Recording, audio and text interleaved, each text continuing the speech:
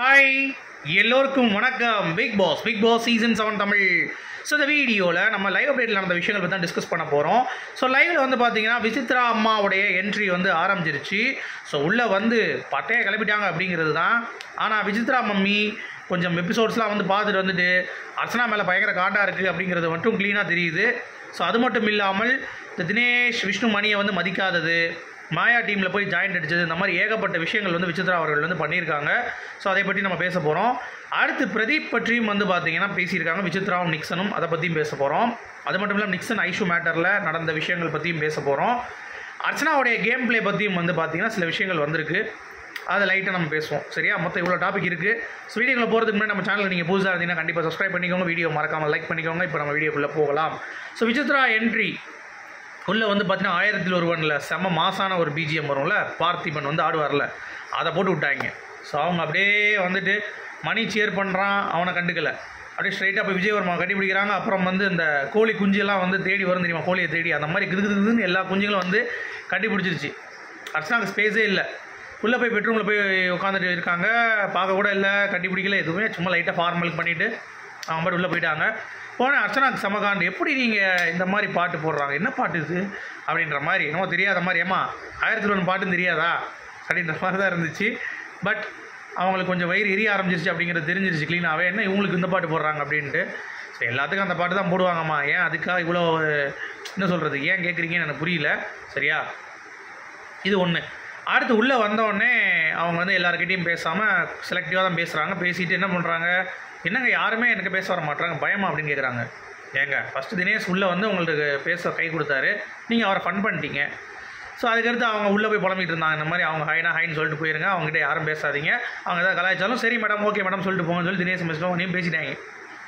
மணி சேர் பண்ணால் அவனை நீங்கள் கண்டுக்கல. விஷ்ணு வந்து பார்த்தீங்கன்னா ஏதோ பேச வந்தால் அவனையும் வந்து பார்த்தீங்கன்னா பேசாமல் போயிட்டீங்க. அதுக்கடுத்து யாரும் மதிக்கலன்னா எப்படி மதிப்பாங்க? அந்த ஒரு விஷயம் இருக்குல்ல. அர்ச்சனா நீங்கள் பார்க்க கூட இல்லை. லைட்டாக சும்மா ஹாய் அப்படின்னு சொல்லிட்டு அப்படி பாட்டு உள்ளே போயிட்டீங்க. ஸோ இந்த மாதிரி நீங்கள் பண்ண மினிசா அப்படி பண்ணலாம்ல. அது மினிசா கரெக்டாக கொடுத்தா. மினிசா கிட்ட வந்து என்ன யாருமே வரமாட்டாங்க இன்னமும் டீமாக தான் இருக்காங்கன்னு கேட்டவொடனே நீங்களே இந்த டீமில் வந்து தானே பேசுனீங்க அப்படின்னு சொல்லி மினுசா கேட்டு விட்டுருச்சு ப்ரூட்டெலாம் அப்புறம் கூல் சுரேஷ் வந்து கேமரா எடுத்துகிட்டு விசித்ரா முன்னாடி சீன் போட்டுட்டு இதெல்லாம் வந்து நடந்துச்சு. சரியா? அப்புறம் விசித்ரா வந்து உட்காடுறாங்க உட்காந்துட்டு நிக்சன் கூட உட்காரும் பொழுது பேசுகிறாங்க என்ன நிக்சன்? பிரதீப் ஃபோட்டோ இல்லை அப்படின்றான் நிக்சன். அப்படியா? இப்படி பார்க்குறாங்க. ஆமாம் இல்லை ஏன் இல்லை?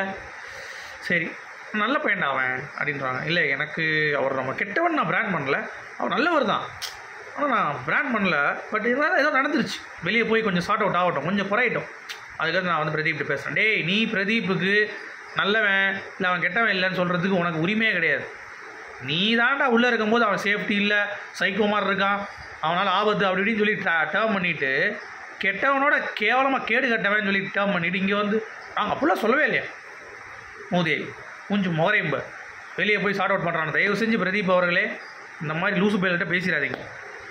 சித்ரா சொல்கிறாங்க நான் ரொம்ப நல்லவன் அவன். நான் பேச பேசியிருப்பாங்க போல தெரியுது. அதான் சொல்லியிருக்காங்க. தாத்தா கூட சொல்லியிருந்தேன் நினைக்கிறேன்.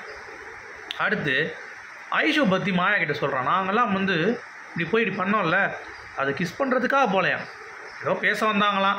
அவள் திரும்பிட்டாலாம் அதை உடனே அப்படியே கட் பண்ணி கட் பண்ணி கட் பண்ணி எடிட் பண்ணிட்டாங்க. நாங்கள் அந்த மாதிரி எதுவுமே பண்ணல. எங்களுக்கு உள்நோக்கமே கிடையாது. சரிடா டேய். இவன் எப்படி சொல்கிறதுன்னு தெரியல. காஜி பைய சரியான காஜி பைய பூர்ணிமாவையும் ஐசுவையும் பிடிச்சி தடவி இடவி எல்லாம் பண்ணிட்டு நல்லா வேஷம் போடுறான் பாருங்களேன். ஆடியன்ஸ் தான் தப்பாக பார்த்துட்டாங்களாம் இவர் உள்ளே உத்தமாக இருந்தாராம். அதுக்கு மாயா சொல்லிடுச்சு நீ சோசியல் மீடியாவை கண்டுக்காத நான்லாம் போய் கமெண்ட்டை மூடிடுவேன். முடிதான் ஆகணும் பின்ன. அந்தளவுக்கு கழி ஊற்றுவாங்க அவங்கள என்ன பண்ணுறது அப்படின்றது தான் பாயிண்ட்டு இவங்க எப்படியும் கேட்க மாட்டாங்க. ஸோ விசித்ரா சொல்லிட்டாங்க. நல்லவன் தான். நீ போய் பண்ணாலும் பேசுவான்ட்டு. அதுக்கப்புறம் இந்த நிக்சன் தலைவிதி அவ்வளோதான் ஒன்றும் பண்ண முடியாது.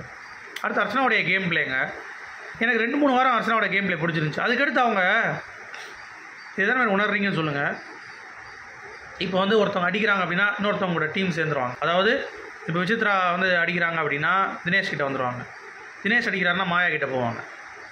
இந்த மாதிரி ஒவ்வொரு அவங்களுக்கு ஒரு டீம் தேவைப்படுது. தனியாக இண்டிவிஜுவலாக அவங்களால ஆட முடியல அப்படிங்கிறது என்னுடைய பாயிண்ட் ஆஃப் வியூ அவங்க கேம் பிளே அப்படி இருக்குது இந்த மூணு வாரம் அதனால தான் எனக்கு வந்து கொஞ்சம் அவங்கள ஒரு மாதிரி ஃபீல் ஆகுது. உங்களுடைய கருத்துக்கு சொல்ல மீண்டும் சந்திப்போம்.